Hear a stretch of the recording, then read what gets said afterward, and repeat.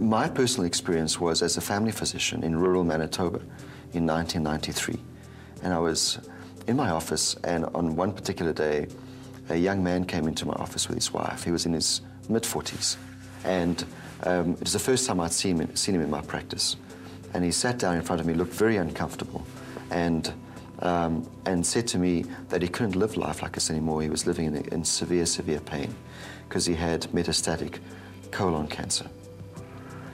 And I, I, I vividly remember feeling extremely uncomfortable with the situation.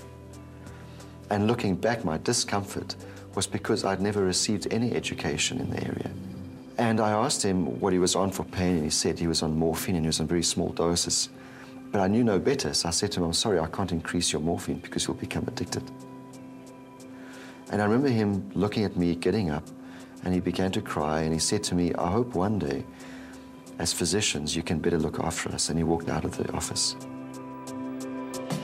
You know, often when they hear the word palliative, they think this is the end.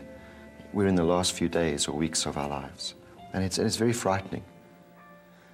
And I think one of the most important messages we have to try to convey to the public is that palliative care is not just about dying. It's not just about the last few days or weeks of life. Palliative care is about improving the quality of life for anyone who has an advancing progressive illness. But it can be many, many months and sometimes even years before the death. Palliative care is about celebrating life. Palliative care is about improving life.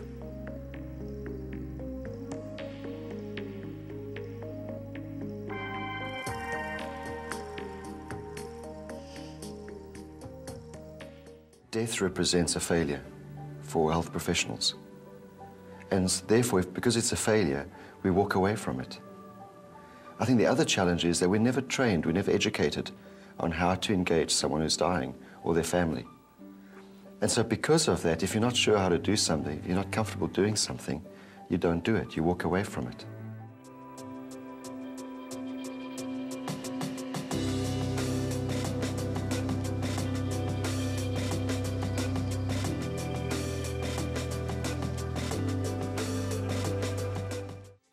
The important thing is to view palliative care as an integral part of the healthcare system. Palliative care is not just this small specialization that's set aside. And when a patient is now dying, they get moved to a hospice or to a palliative care unit. Palliative care is an approach that's integral within the healthcare system. And so if all of us are practicing the good principles of palliative care, it becomes integrated.